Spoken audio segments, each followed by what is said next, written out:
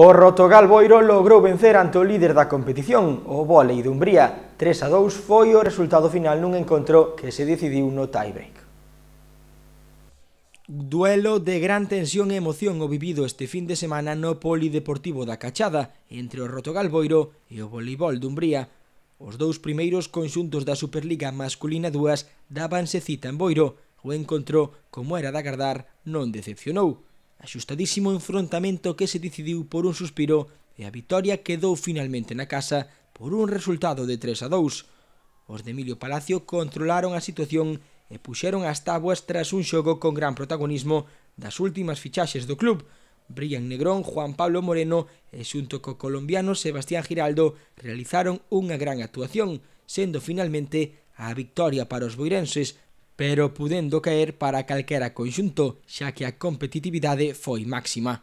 O Portugal continúa así invicto no que vai de tempada, ademais de asegurar xa a semana pasada a súa participación na Copa Príncipe. Nestes intres son segundos, sendo Dumbría aínda o líder da competición.